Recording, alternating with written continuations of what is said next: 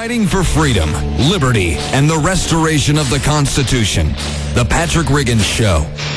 Call in now at 865-243-8255. That's 243-TALK. And now your host, Patrick Riggins. Welcome back to the Patrick Riggins Show. This segment, promise, a promise, not going to talk about bad drivers. Got it out of your system. It's out of my system. I made him go out, my- I made him go outside, Yeah. event, and walk around in a circle, and Run around the parking lot some, he jumped up and down and cussed. Yeah. And breathed in, did the breathing exercises. So now calm and cool, focus. focused. Squirrel! All right, this segment, I want to talk a little bit about Obama and this, well, and this, not really just him in particular, but this whole gun control debate. And I'm sure most of you have saw the spectacle that was going on this week with him and with his gun control bills looking more and more like they aren't going to get through Congress. He's reverting to this tried and true tactic of using women and children to try and get his unconstitutional legislation passed. Well, this last week, as I said, he, he had a press conference with parents of children who had been killed by guns uh, standing bes- behind him. What's really interesting is, you know, that guns could even kill people, but I was under the impression it was people had to use it. But hey, that's me. Anyway, he uh, he was introduced by a lady named Katerina Rodgaard, who's a gun control activist and proponent of gun restrictions on us, the American citizens. She's an activist, and, and here is why she's an activist in her own words. I have been personally affected by gun violence. As a dance teacher, I lost one of my students at the massacre at Virginia Tech. So she lost one of her students at the massacre at Virginia Tech. Well, I would think that she probably means killed instead of just lost them. Because I'm thinking if she lost them, if you just retraced her steps, she'd probably find them. But you know, uh, that's me. but Lost that money. well, yeah. So she lost uh, some tuition. so, yeah. Oh yeah. me who said that. So the cards and letters and the email goes to Tori on that.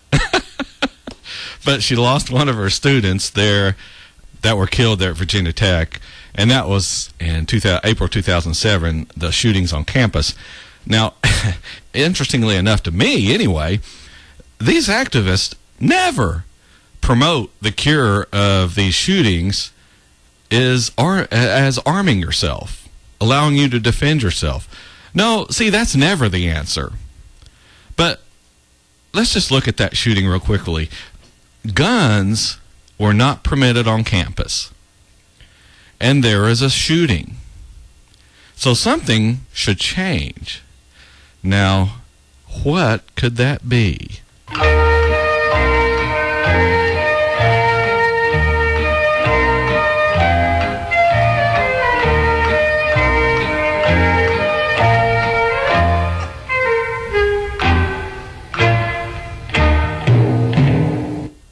Hmm. What is allowing guns on campus, Alex? Yes, I knew I knew that. I knew I knew that one. But that one was really easy. Good answer, yeah. if you don't allow guns on campus and there is a shooting, that tells you something needs to change, correct? Well, the only other option is to allow guns on campus. In fact, that very option was put forth by Todd Gilbert in the Virginia House of Delegates in 2006, before the shootings at Virginia Tech. That bill was intended to forbid public universities in Virginia from preventing students from lawfully carrying a concealed handgun on campus. Now, Virginia Tech University opposed that bill, and it died in subcommittee without making it to the full House for a vote. At that time, the spokesman for Virginia Tech, a man named Larry Hink- Hincker, he praised the defeat of the bill, stating, I'm sure the university community is appreciative of the General Assembly's actions because this will help parents, students, faculty, and visitors feel safe on campus. Of course, notice he said feel safe, not that you actually were safe. So, where was the outcry?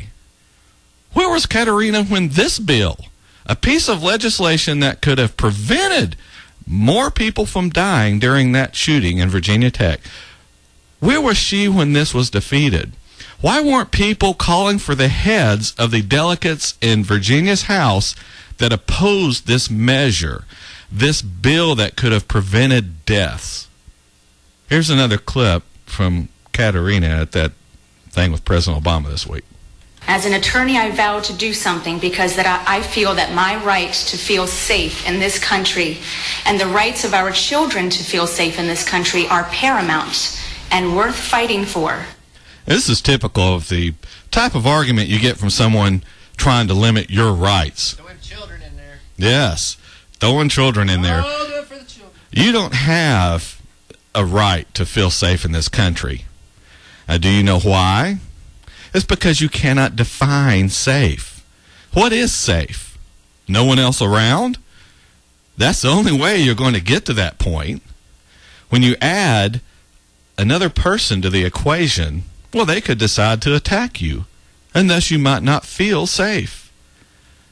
No, Katerina, you don't have the right to feel safe. And neither do your children. That's life. Get over it. In this next clip, uh, she's talking about Vice President Biden. He is also an advocate for the rights of women and children. Oh, here we go. More rights. Apparently, women and children have rights that the rest of us don't. Or are we supposed to believe that men, who you notice those are the only group she didn't mention, Apparently, men have rights that women and children don't. This is the problem. We define too many things as rights that aren't. If exercising a right requires me to give up mine, then it isn't a right. Plain and simple. You exercising your rights requires nothing from me, and vice versa. But these liberals make up rights for everything they want on their agendas. Housing, well, that's a right. Food, that's a right.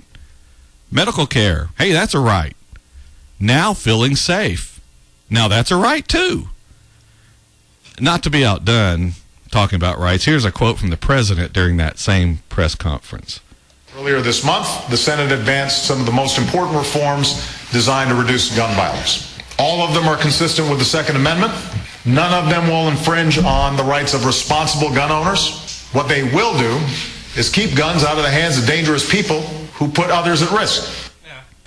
Now, how can you argue with that? Only that his proposed legislation isn't consistent with the Second Amendment. He does admit that it won't infringe on the rights of, quote, responsible, unquote, gun owners. Notice that word responsible, meaning people who act in such a way that the government deems you responsible. So, what does that mean? Well, no one knows. But you can bet it'll be along the lines of responsible gun owners lock every single gun they have up in a safe, making it practically impossible to get to in the event of a robbery. Or responsible gun owners don't carry their weapons outside their homes except to and from hunting. Or even responsible gun owners only own guns the government allows citizens to possess. The president then goes on to name some of the names of children who have died from gun related violence. And in that same spirit, we here at the Patrick Riggins Show would like to acknowledge some children who have been saved courtesy of a gun. One of them is Jimmy Rowland from Bethel, Oklahoma.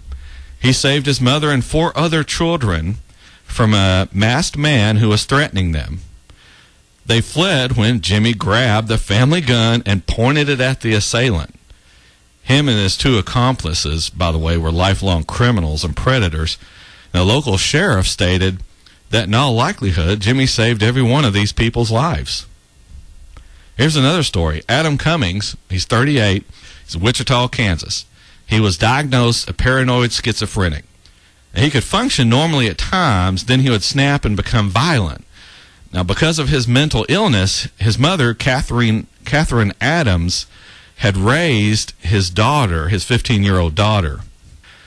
On March 17th, 2000, at 10 p.m., Cummins, who was described as visi- visibly agitated, appeared at his mom's home. Now, having first knowledge of his violent tendencies, she locked the front door and refused to let him inside. So, what did he do? Did he walk off and say, Oh, the door's locked? No, he kicked in the door. Now, what he did when he got inside was he assaulted her and started hitting her in the head with a claw hammer, fracturing her skull. Now, while this was going on, she yelled to her granddaughter to go get the gun. She wasn't, didn't have to go figure out the safe combination, didn't have to run some little thing to get into the drawer that holds the gun. The 15 year old ran and grabbed the gun. She got the gun from the nightstand in her grandmother's upstairs bedroom. It's a handgun. Now, by this time she had done that, her father, the crazy, paranoid schizophrenic, had bludgeoned her mother, or his mother, her grandmother, into unconsciousness, and then he started coming up the stairs. She met him at the top, his daughter met him at the top of the stairs, fired one shot, striking him in the abdomen, and he died a few minutes later. Now, police said over a long period, Cummins had had many dealings with law enforcement officials and mental health agencies. He had threatened police officers, mental health workers, even his ex wife. For years, he had fought with his wife for custody of the girl, and the family had tried numerous times to have him institutionalized. And on the day he died, the day his daughter ended up having to shoot him, he had called his ex wife and threatened to kill her. Police credited the 15 year old girl with using appropriate force to stop a vicious assault.